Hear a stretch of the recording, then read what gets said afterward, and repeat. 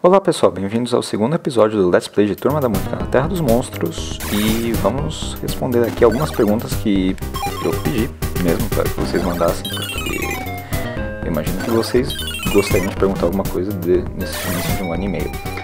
Enfim, antes de começar, eu gostaria de avisar que uh, meu canal está de volta, só que eu não vou postar projetos novos por lá por um tempo, vai demorar um, até eu realmente tiver alguma coisa mais sólida no canal, a construção e aí eu volto a fazer alguma coisa. Uh, enfim, o que vocês devem estar querendo saber de lá é qual episódio ganhou a votação. Então, a votação fechou hoje às 15h30 de sábado, que foi justamente o horário que eu consegui voltar para casa depois de acordar muito, muito cedo. E até ontem estava acirradíssimo entre Sonic 3 Knuckles e Final Fantasy V. Final Fantasy... Cada um tinha 6 votos e Final Fantasy V estava com 3 likes a mais. Eu resolvi usar o likes como gostei, né? como critério de desempate. Na, no caso dos votos não serem suficientes. Mas hoje, quando eu chego em casa, pensei, bom, vou terminar de reunir mais alguns dados, se eles alteraram alguma coisa, né? E aí eu gravo o episódio hoje à noite uma pessoa votou em Sonic 3 e Knuckles justamente na hora que eu abri meu e-mail. Quer dizer, na verdade ela votou 11 horas antes de eu abrir meu e-mail. Mas a verdade é que ela votou durante a madrugada de sábado e aí Sonic 3 Knuckles ganhou 7 votos. Isso é o primeiro episódio a ser reupado. Ah, quer dizer então que Final Fantasy V vai ser ignorado? Não. Como outra pessoa me perguntou, que agora eu infelizmente não lembro e eu não anotei aqui, peço perdão a você, rapaz, ou garota, ou quem quer que seja, peço perdão mesmo por não ter anotado seu nome, falha crítica. Colhada no pé, colhada no pé, colhada no pé! E me perguntou, Owen, por que você não upa dois episódios, dois projetos por vez? Então, por que não? Vamos fazer o seguinte, Sonic 3 Knuckles eu vou reupar de segunda, quarta e sexta, e Final Fantasy V será reupado de terça e quinta.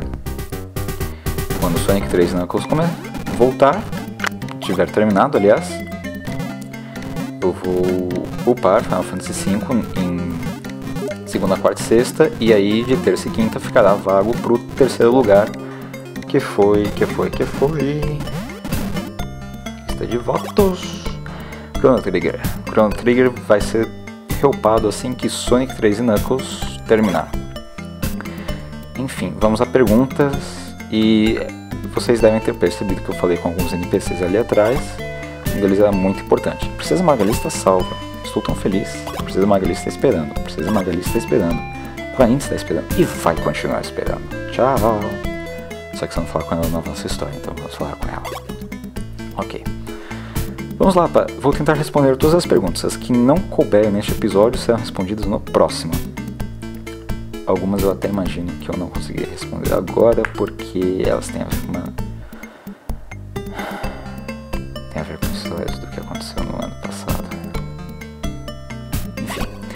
Sr. Alex Newt me perguntou, se não me engano, ali uma vez no seu blog algo a respeito de jornalismo. Você é formado nessa área? Sr. Alex Newt, não, sim e talvez. Espero que essa pergunta tenha sido respondida com um grande sucesso. Ainda no Sr. Newt, ele fez algumas. Quando mudar o nome da pessoa, você saberá que mudou o nome da pessoa. Nossa, mestre do óbvio. Nesse tempo que ficou ausente no YouTube, houve alguma mudança significativa na sua vida rotina? Então, essa é uma pergunta um pouquinho maior. Fica para depois. Pode deixar, eu responderei, mas é algo que eu não gosto muito de falar. Enfim, uh, na hora de deletar o canal, senti alguma sensação diferente no, momento e após isso. Aqui uma pequena curiosidade, Marinho Reino Submerso, mas estamos no Castelo Cor-de-Rosa. Mágica. Se eu senti alguma diferença, não. Eu estava muito bem decidido na hora de deletar o canal, então. Sabe quando você faz aquela coisa sem olhar para trás? Pois é, eu fiz aquilo. E aí, por que, que eu voltei a fazer Let's Play? Porque Turma da Mônica na Terra dos Monstros realmente foi a melhor forma que eu pensei em tentar falar com o Maurício de Souza. E novamente agradeço muito, muito a equipe por ter me cedido esse espaço e me deixado usar o canal deles como base de operações. Mais interessante ainda, justamente esse projeto, que era mais uma venda de ideia, ou pelo menos o primeiro episódio teve essa intenção, vai servir como minha volta ao mundo do Let's Play. Sim, ficarei, tanto é que eu vou refazer meu canal, então Está. Estamos, né? Porque tem o Owen 1, 2, 3, 4. E eu vou pegar dinheiro. E eu voltei. Oi. Para comprar itens. E quantos Owens necessários, estamos reconstruindo o canal. Como vocês sabem, também tem a votação. Que já expliquei quem ganhou. Ah e eu ficarei no Elite Clássicos. Eu descobri hoje que o conselho deliberou que sim. Ah, aqui tem uma porta secreta que nós vamos discutir isso depois. O conselho deliberou que sim, eu posso ficar, sim, eu posso fazer projetos. E sim, já temos ideias do que eu posso fazer e eu postarei às quintas. Esse episódio sai na segunda. Perdão.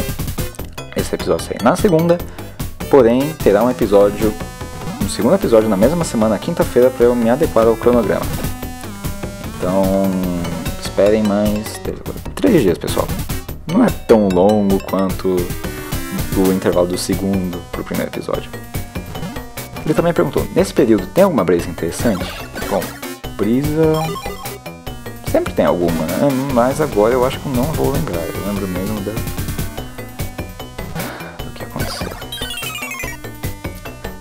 Lamex Sensei perguntou: você não sabe o que exatamente ela fazer no canal? Podemos mandar sugestões de jogos projetos?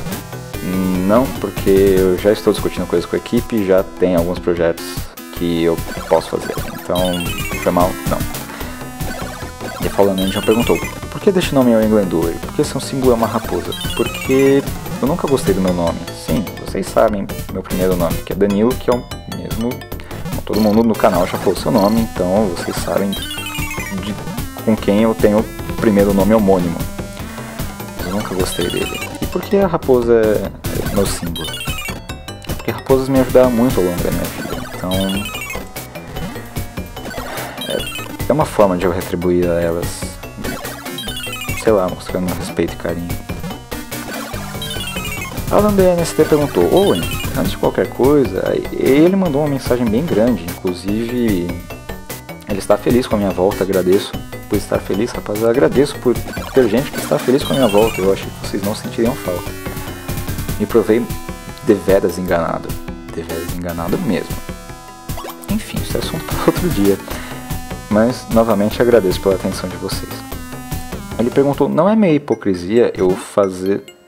Eu que não atendi aos desejos de meus fãs ao deletar meu canal, é, pedir a esses mesmos fãs para me ajudar a falar com Maurício de Souza? Ah, e falando, me perguntaram se eu tive resposta do Maurício de Souza ou de alguém da equipe. Não, não tive.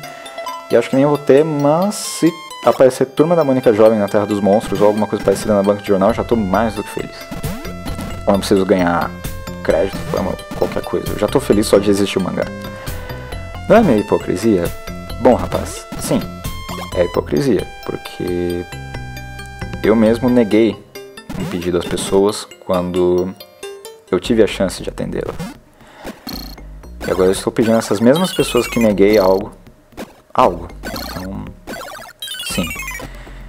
Mas justamente esse LP foi a melhor forma que eu encontrei de tentar propagar essa ideia, tentar fazer com que ela fosse ouvida.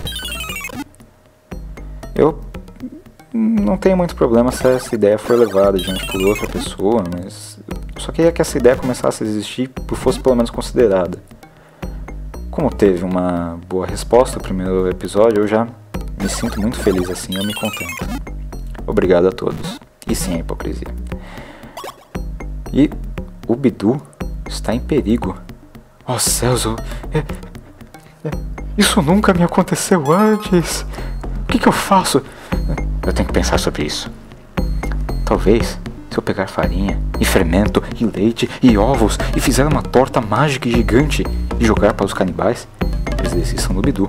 Mas eles são canibais, eles não vão querer a torta. Mas e se eu simplesmente fizer uma bomba de farinha e jogar neles? Não, mas aí eles vão ficar bravos. E aí eles matam o cachorro. Depois me matam. Depois comem nós dois. Hum, isso não é bom. Isso é nada, nada bom. Mas será que se um pinguim a 60 km por hora indo em direção a Brasília, quantos graus eu tenho que colocar forno? Ah, eu não sei. Alguém me ajude. Papai do céu, me ajuda. Eu não sei o que fazer. Meu filho. Papai do céu. Desce a porrada neles, meu filho. Beleza, papai do céu. Porrada neles, porrada neles. Funciona, velho. voltando às perguntas. Uh, sim, é hipocrisia. Guilherme Júnior perguntou: Oi, faz um Let's Play de Tetris? Não. Fala com o Ômega. Ele me mandou um grande texto, ele é um aspirante escritor. Continue investindo nisso, rapaz, é legal. Lá do escritor falando. Lá do Let's Player, voltando, respondendo as perguntas. Qual o título do meu livro? Uh, Fantasia Viagens Larry, eu vou deixar na descrição. E uma outra pessoa me perguntou, eu já vou responder uma pergunta antecipadamente, me perguntou se eu já consegui lançar meu livro. Não, ainda não, porque as editoras no Brasil eu percebi que funcionam a maioria de dois jeitos. Um, ou você paga para eles publicarem, e aí eles publicam quem for, ou então elas apostam em alguma obra, só que elas geralmente apostam em estrangeiros que já fizeram sucesso, para elas terem algum lucro e não simplesmente fazer um tiro no escuro. A editora que eu tentei, que publica todo mundo, foi uma editora que eu conheci uma pessoa que publicou com ela. E ele fez uma tiragem bem legal, 1500 exemplares, lançou numa livraria bem famosa por aqui, lançou em outras cidades. Eles se encarregavam um pouco do marketing e tal, se bem que davam 500 livros pro cara, pro cara tentar vender por si, porque eles não iam vender tudo, etc. Só que elas cobravam 20 mil reais. Eu não tenho essa grana. Outra coisa, quando eu mandei uma proposta para essa editora, eles em quatro dias falaram que aceitavam.